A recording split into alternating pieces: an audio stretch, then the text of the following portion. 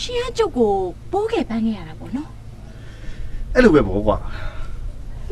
ကျုပ်ကအရှက်ကြောက်ကြီးရဲဆိုရင်ဟိုရှင်ကိုဘလို့ပြန်ချစ်ပြီးတော့ဟိုဘလို့အချောင်းပါခဲ့လဲကျုပ်ကိုပြောစမ်းမအောင်တော့တမိရှင်ဘာလို့ရှောက်မေးနေရလဲ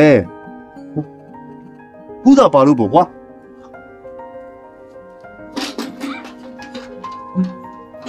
မေးပြောလိုက်တာဖေးရှက်ပြီးတော့ခါပါခဏပတ်တိုက်ဘလောက်ဆိုပတ်စံနေရ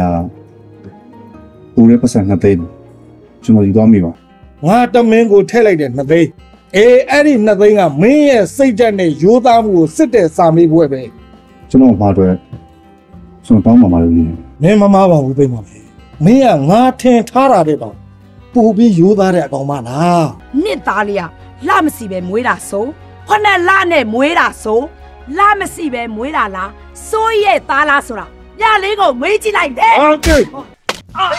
ဘယ်တမင်းအဲ့လိုလောဖယ်စမ်းမှာကွာညာလေးကိုမတို့ရမတိရဘူးလေချလို့မဟုတ်ချစ်လို့ဗျာခင်ဗျာပြီးအိမ်မှာစေးဖို့သသိန်းလာယူတာအာပါတယ်ခင်ဗျာကျုပ်ရိုက်ချင်လို့ရိုက်လိုက်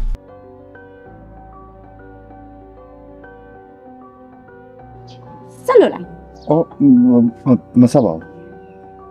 နေတိတ်ရလိုက်လားနေပါလို့တာလေငါနဲ့ကိုချစ်လို့ပေါ့ဟုတ်ချစ်တာနဲ့အဲ့လိုလုပ်စရာလား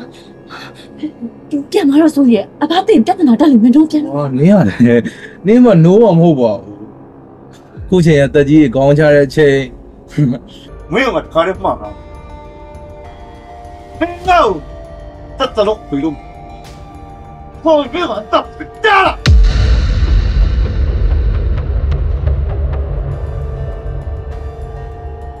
တ